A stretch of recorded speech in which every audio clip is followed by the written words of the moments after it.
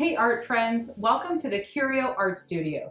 Curio is an art gallery and studio space located on the main street of Zelienople next to the Strand. Today I'm going to be teaching you how to create an awesome masterpiece inspired by the local artist Keith Haring.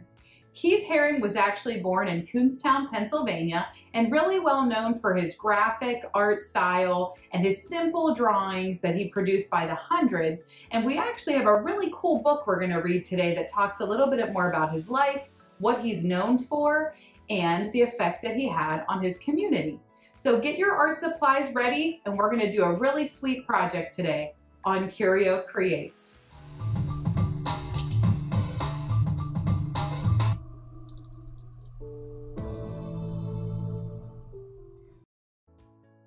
Here's what we will be using today to make our art project. Remember, use what you have at home. It's okay if you don't have the same things that we do.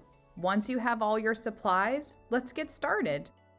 I'm working on a white piece of drawing paper today.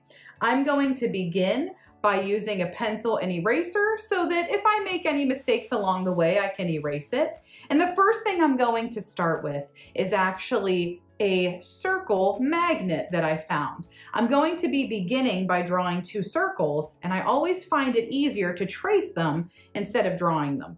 Now these are going to be the heads for my people that are working on holding up a heart. Keith Haring's people were very simplified. You don't have to worry about faces, hair, even fingers and toes and clothing. He just draws these really simple outline shapes of people. We're gonna have two people today with a heart, but then once you learn how to draw it, you can switch it up and do many different variations of the same thing. So now that we know what kind of image we're going to be working on, these are going to be our heads. So I'm going to take these and instead of putting them in the middle, I'm gonna shift it low. And I'm gonna go a little bit to the left and then I'll be going later on a little bit to the right. So this is going to be my head. I'm gonna hold it down nice and tight and I'm going to hold my pencil up and down because when I do that, it doesn't fall this way and slip underneath what I'm using to trace with.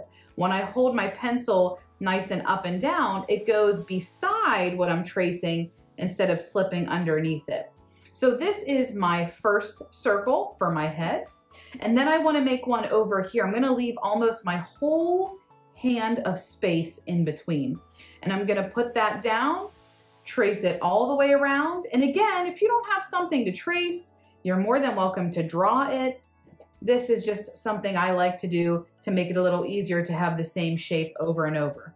Now that we have our heads, we're gonna make our first set of arms. And our arms are going to be working together to hold this heart. One thing that Keith Haring really wanted to make apparent in his drawings and paintings was the idea of community. He loved the idea of doing things to bring people together, to make people know that they can treat each other as equals and be respectful. So this picture isn't just about, you know, love and a heart for Valentine's Day, but it's the idea of people coming together to help and to be kind and to make a better community. So these people's arms are going to be kind of lifting together or kind of like have a, a shape that looks kind of like an L or a shape like you're like strong. So we're gonna make kind of an angled shape whenever we're working on our arm. What we'll be doing is we're gonna go low. We don't want it to look like our arm is sticking out of our head. So we wanna shift our line low and we're going to come out straight and then we're gonna be going up like this. So it's kind of like a corner, like we are starting to make a rectangle or a square or kind of a backwards L. And this would be a little too skinny if we were making it our arm. So we wanna add some thickness to it. So what we're gonna do, instead of drawing individual fingers, we're going to kind of make it look like this by drawing this kind of not quite rainbow, not quite full circle shape.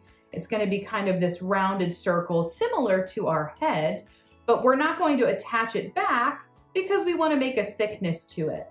So we're going to bring this line down, making these two lines parallel. Parallel means that these two lines will never ever touch. They have the same amount of distance in between them. There's the same thickness. So we're gonna bring this down. This now creates our hand and forearm, kind of like this or like this. And now we're going to bring it down a little more to create the bend in our elbow. And then we'll continue it more towards the body. This would be bicep on top and then tricep right here underneath. Before we go all the way over, we're gonna stop because we need to also make a thickness for the body. So we're gonna turn one more time and we're gonna bring this down so that this makes his body, and this would be his armpit right there. So you have one person kind of lifting their arm up high or kind of looking like they're helping to hold the heart. We're gonna do the same thing on this side, and it's okay if it's not exactly the same. We're gonna start low. We're gonna bring that line out. We're gonna go up like this. Could be as high, could be a little shorter. I'm gonna do this a little shorter. I'm gonna start my round shape, and I'm actually so close I'm gonna bump against my other arm and I'm going to stop and make it look like it's going behind it like this. And then I'm gonna come out the other side so it looks like, kind of like you have them behind each other, something kind of like this, like they're helping. Bringing this all the way down to make our forearm. And then we'll be going back towards the tricep, armpit area, then body. And you can see that sometimes in an example I did already, these have some space between them. So it's okay if they're close together, if they're overlapped, if they're touching, you know, this is your own project. So however you choose to make those arms is fine. The other side of our body, we can be a little bit more free with and have a little bit more fun. I'm gonna do something similar, but a little bit more of like a pose that's a little bit upwards. So I'm going to be doing something that's kind of like he's helping, holding with this hand, and then this one's gonna be up a little bit more like this, like, yeah, I'm helping. So when I'm working on this next part, this is going to be a little bit higher. Instead of going out straight, I'm gonna go up a little bit more and I'm gonna bend a little taller so it makes my arm go a little higher. Remember, we can't leave it that skinny. We want some thickness to it. So we're gonna do that round kind of circle rainbow shape. And we're gonna come down and make those parallel lines so it's a little thicker and then finish off our body. So this would be my one person. And then this one, I'm gonna make it just going straight out. So I'm gonna make this going up real high and then a rounded part and back down like this. So I'm gonna make this arm like this. His arm is just extended, nice and tall, and then making the body like that. One thing I'm going to erase is whenever I do trace over this, I'm not going to add that extra line down at the bottom because I wanna make it look like the head and the body are just attached together. I don't want to make it look like it has an overlapping to it. So we're going to do something similar, but not quite all the way finish the head off like that. Now it's time to do the heart. We want the heart to be really, really big. It is the main focus. So we're gonna make sure that we draw really large for this part. One thing I wanna to talk to you about is your heart is probably not going to be exactly the same on both sides you know, if you take a look at this heart, it's not perfect and that's okay because art's not meant to be perfect. We can still see and read that this is a heart even though it's not exactly the same on both sides. That's fine. So as we're drawing it, if it's a little wonky or a little crooked, that's fine. It's great. It adds excitement to the picture. What we're gonna do is we're gonna start by giving ourselves a couple little guidelines. I'm gonna put a dot at the bottom because that's where I want my bottom of the heart to be. And then I'm also gonna put a dot up here near the top because this is where the middle of my heart's going to be. So what I'm doing is I'm actually giving myself little guidelines of like a dot at the top for where this is and a dot at the bottom down here. Now, if you have some younger artists, you could always draw it lightly with dots so that they can follow along with your dots as a guide. You could also do an old school throwback where you fold your piece of paper, you draw half of your heart, cut it out and open it, and you have that pattern too. You could show your artist how to make a pattern like that. They could use it over and over again, but we're just gonna freehand our heart today. We're gonna start with the bottom instead of the top, and we're gonna make this more of a V. So we're gonna start here at our point, and we're gonna make this go up, but we wanna be careful because we don't wanna draw over top of the people we created. So we wanna stop and continue out the other side. Anywhere that you're gonna bump into your person, you stop and let it continue on the other side. That gives it the illusion and the idea that it is behind them. So we're gonna do our big V first, and then we're gonna come here at the top, and this is where we're gonna make kind of this rainbow kind of circle shape. Not quite a circle, you know, more like a long rainbow. This kind of looks like a candy cane almost. And those guidelines are helping us to make it really big and have somewhere to kind of follow as we go. So awesome. I'm super happy with that. You know, I could make this a little skinnier to match the other side, but I'm just going to keep going. There's no point in trying to make it perfect. It gives the feeling of what I'm trying to accomplish. So that's all we need. I'm going to trace mine next. I'm going to use a Sharpie. You could use a black crayon to trace. You could also use a black oil pastel that we learned about in our last episode of Curio Creates with the polar bears too, if you wanted to. Now, sometimes people ask me, why do I always like to have things traced and have a bold black outline? And the reason why I like to do that is because it adds contrast. When I'm looking at something from across the room, I like to be able to see what it is from further away. So I like those bold lines. It kind of helps me to know what I'm seeing and it helps all of the hard work that I was working on stand out to the viewer. If we didn't have these lines, your picture would be awesome too, but these ones just make it a little bit more kind of graphic. It makes it a little bit more, like I said, contrasting. Your dark black against the light white, make it really bold and stand out and pop. It gives it kind of that cartoon look to it where it's simplified, but it really stands out. This is a great thing to practice with younger artists too. Their eye-hand coordination of trying to get their hand to follow a line that's already there is great practice for them. When we took a look at my sweatshirt before, one thing you might have noticed for all of these lines, and these are movement lines, these two kind of lines on the side help to make the body look like it's kind of moving. If those weren't there, like this is, they just look kind of stale. They're just standing there. But if we start to add these lines that show movement and these lines around the heart that show that there's, you know, an excitement, that there's an energy to it, it makes it more exciting to look at. So we're gonna go ahead and draw those lines. It doesn't have to be anything tricky. Some of them you might not be able to draw because they get cut off a little bit, but I'm gonna start here on the side and I'm gonna draw some lines a little bit longer, some a little bit shorter, and I'm actually going to turn my paper as I go and that will help it give the idea that it is bursting. That'll help make the kind of radiating lines where it looks like they all start from the middle and burst out. So that'll make it a little easier to make that even. This is the same thing you can do like if you're drawing petals on a flower or something, you can kind of spin your paper to help keep you on track of getting them to go in the direction you want. You can have as many or as few as you want. And the last step for me with my Sharpie that I'm going to do is I'm going to actually take some of these and I'm going to make them a little bit wider. We have a lot of really interesting lines, but I'm gonna take these and make a little bit more of a thickness to them. Just like our lines added excitement to our picture, the weight of these lines being different also add a lot of excitement and interest to our picture as well.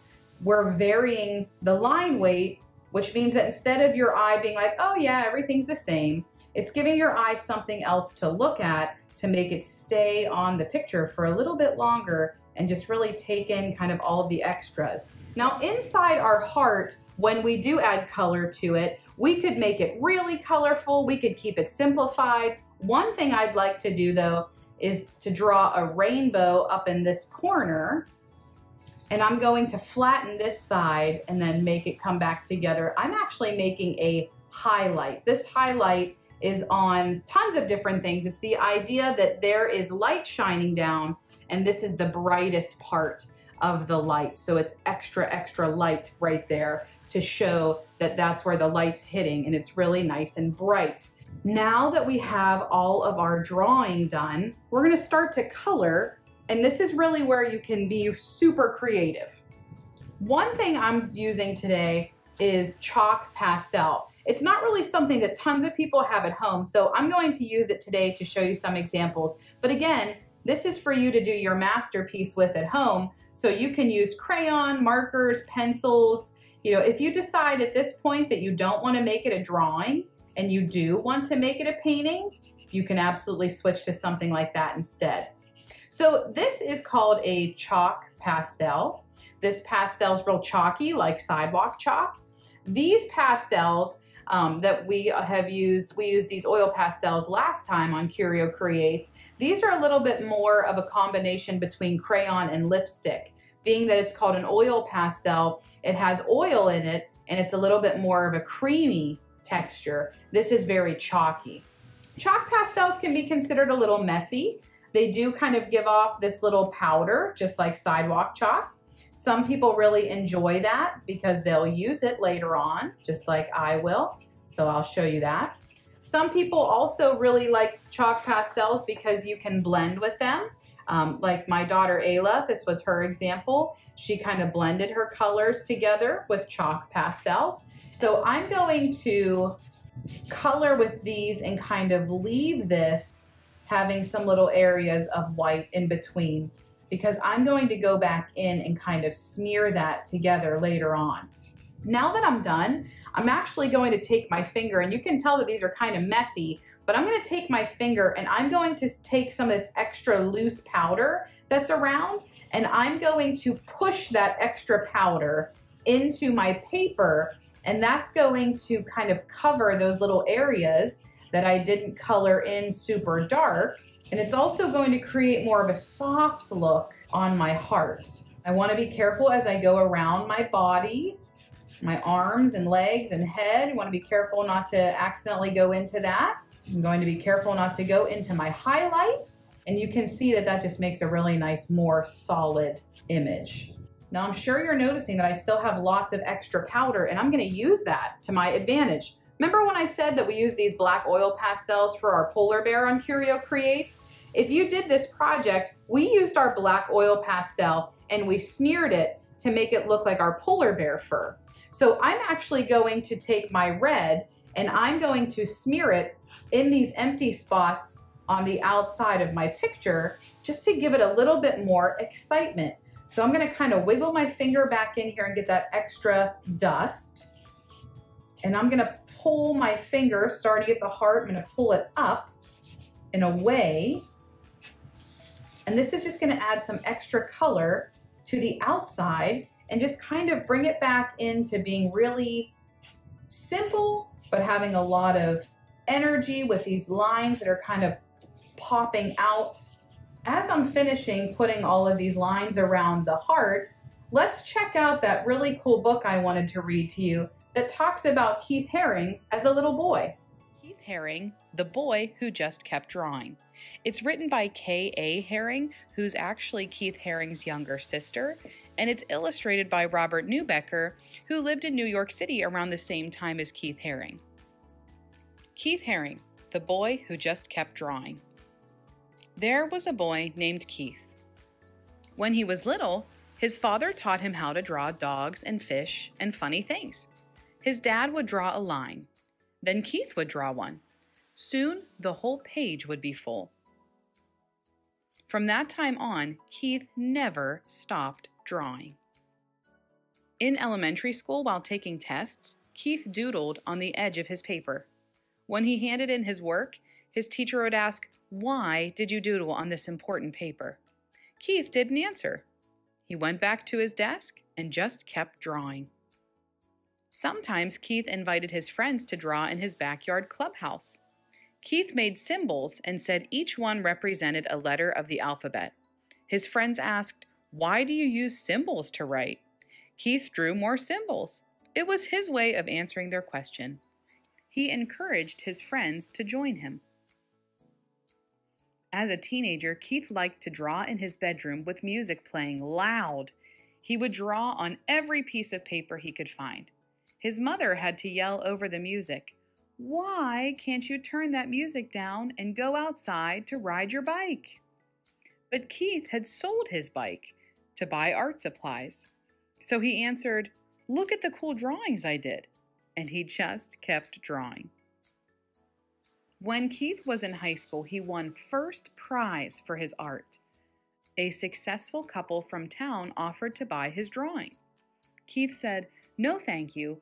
If you enjoy my art, you may hang it on your wall, no charge. Keith's sisters were shocked. Why didn't you take the money? they asked. Keith shrugged. He just wanted to keep drawing. Keith graduated from high school and went to the big city of Pittsburgh to a school that would teach him about art. There were boys on the street trying something new breakdancing. He liked the crazy shapes of their bodies as they turned and flipped on the ground. While the music played loud, Keith started drawing wiggly lines. His teachers asked him, Why are you drawing pictures that look like scrambled bodies? This is not what we told you to draw. Keith knew how to draw. He just wanted to draw in different ways. And he kept drawing. Keith moved to the huge city of New York when he was 20 so he could draw with other artists. He started to draw all over the city on walls, on sidewalks, and on paper that hung on lampposts. His drawings were washed away by the rain and torn down by street cleaners. Other artists asked Keith, Why do you draw in places where your pictures are erased? Keith didn't hear them. He was searching for another wall so he could keep drawing. Keith got a job delivering packages and sometimes rode the subway. One day he saw a panel of black paper on the wall in a station. He rushed outside to buy chalk and came back and began to draw. The white chalk made bright, smooth lines on the black paper. Day after day, Keith filled the empty panels in the subway stations with art. Soon, people who rode the subway were looking for the white chalk drawings. No one knew the name of the artist, but his drawings were easy to recognize. People asked him, why are you drawing here? What do your pictures mean? Keith said, What do you see? You decide what they mean. Where Keith lived, there was trash on the street, and people didn't always say hello to each other. One day, he and his friends cleaned up 20 bags of garbage in front of a long wall. Then, Keith painted square faces with smiles and body shapes dancing upside down. The neighbors liked the drawings, and they stopped to say thank you. A policeman came by and lectured Keith. Why did you do this? I have to give you a ticket because you didn't get permission. Keith paid the fine and just kept drawing. Soon, people wanted to see more of Keith's drawings, and he was asked to display his work in an art gallery. Art was hung from floor to ceiling, and in between, he painted on the walls. Keith invited everyone to come and enjoy his work. All of Keith's artwork sold, and the gallery owner asked him, What are you going to do with all this money? Keith said, I read in the newspaper that there are kids who don't have enough to eat. I didn't have this money yesterday, and I was happy. If I don't have it tomorrow, I'll still be happy. All children need to eat. I'll send the money to them. The gallery owner gasped, Why? Keith just smiled and started to draw again. Now people were inviting Keith to draw in famous museums and exhibit in galleries all over the world.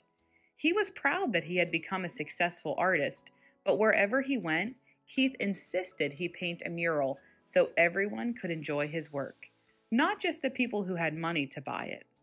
During a visit to Paris, France, Keith painted on the outside of a children's hospital six stories high. Newspaper reporters came to take pictures and asked, Why did you paint at the hospital? Do you think it'll make sick children feel better?